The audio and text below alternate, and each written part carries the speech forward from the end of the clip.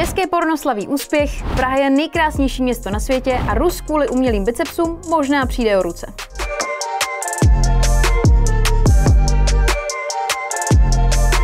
Další Fresh News, další týden a hromada novinek. Vědci například vyvinuli nejbělejší bílou, která dokáže pohltit až 98% slunečního záření. Takže jednak může nahradit klimatizaci a taky proto se dostala do Guinnessovky. No a to si představ, že další novinky, které pro tebe mám, jsou ještě zajímavější. Tak začínáme. Dnešní Fresh News ti přináší Smarty.cz. Telefony, počítače, audio a Apple produkty se slevami pro studenty. Začínáme úspěchem pro Česko. Zapomeň ale na sport, řeči o pornu. Češka Markéta Štroblová Schlegel, kterou možná budeš znát pod nicknamem Little Caprice, vyhrála v prestižní a největší evropské soutěži XBIS Europe Awards, což je porno obdoba filmových Zlatých globů. Cenu si ale neobnáší za svůj porno výkon, ale v kategorii Performance Site of the Year za internetový portál, který spravuje se svým manželem. Little Caprice je totiž nejen herečkou, ale i majitelkou pornoprodukce, která se věnuje takzvaným porn lifestyle videím. Zapomeň na porno a pust si radši dokument. Nejvíce teď mluví o novince Schumacher, kterou minulou středu uvedl Netflix. V něm odkrývá rodina Michaela Schumachera zatím nejdetalnější informace o jeho stavu, ani tak se ale divák nedozví, zda legendární jezdec Formule 1 po osudné nehodě na lyžích dokáže chodit či mluvit. Novinka od Netflixu skvěle pracuje s archivními záběry, ale bohužel taky jen s povrchními informacemi, které ti toho o jezdecké genialitě Schumachera moc neřeknou. V každém případě se ale nový dokument dá jedině doporučit, tak si ho pust.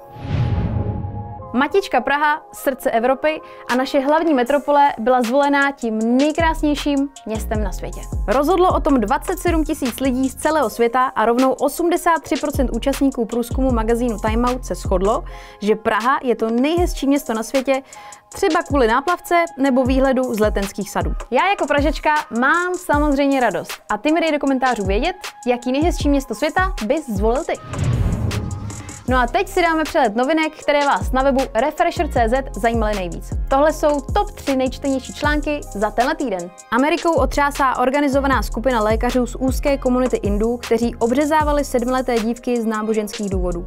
Kvůli mrzačení genitálí dívky nemohly ani chodit a případů, které teď řeší americké soudy, prý bylo nejméně 100. Na našem webu vyšel rozhovor s Vlastou a Michailou, manželi, kteří mají oba rádi dámské šaty. Společně se v nich vzali a teď chtějí změnit pohled české společnosti na muže v sutních. Razí heslo, že každý se může svobodně rozhodnout, co bude nosit. Velký test kečupů. To je nejčtenější článek, ve kterém ti řekneme, jak tahle oblíbená omáčka v historii vznikla a dozvíš se, která značka je ta úplně nejlepší. Vítěz tě překvapí, tak si klikni na link dole pod videem. Pokud ve zprávách rád používáš emojis, těž se na jejich aktualizaci s číslem 14. Čeká nás i dost dalších zajímavých novinek. Emoji 14.0 budou implementovány do konce roku 2021 a obsahují i těhotného muže a těhotnou osobu. Podporu tím mají získat všichni transmuži, nebinární osoby nebo i ženy s krátkými vlasy. Podle autorů si ale novinku můžeš vyložit jako i symbol plného břicha. No a teď něco, co prostě hlava nebere. Rus Kirill Terešin, přezdívaný také jako Bazuka nebo Pepek námořník, je známý svými olejem naplněnými bicepsy, které vypadají prostě slušně řečeno šíleně. Подключу, хорошо? Мы сейчас технически думаем, как Doma si namíchal falešnou látku Syntol, u které dnes hrozí, že mu trvale poškodí ledviny či dokonce způsobí smrt a musí tak podstoupit operaci, která je taktéž riskantní a může skončit i amputací. V novém videu přiznává svou mladickou hloupost, snad to tak nebude nikdo následovat. No a než to tady zhasnem, tak ti doporučím nejnovější rozhovor, který mám na svědomí já a šermíř Alex Čupenič. Bronzový olympijský medailista nám dorazil vysvětlit, co všechno tento elegantní sport obnáší, mluví o největší hvězdě šermu, která nemá ruce ani nohy, i o své repové kariéře. Povedený rozhovor si pust po našich dnešních Fresh News. Link najdeš dole v popisku. No a to je pro dnešek všechno. Ty nám dej vědět do komentářů, co je podle tebe nejhezčí město na světě. Dej nám taky like a odběr, budeme rádi. Mějte se krásně a čau!